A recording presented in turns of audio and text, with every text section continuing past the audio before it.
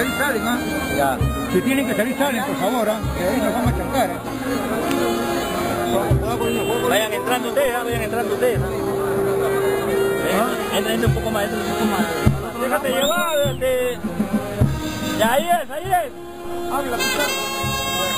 De frente, allá, de frente. Silencio, silencio.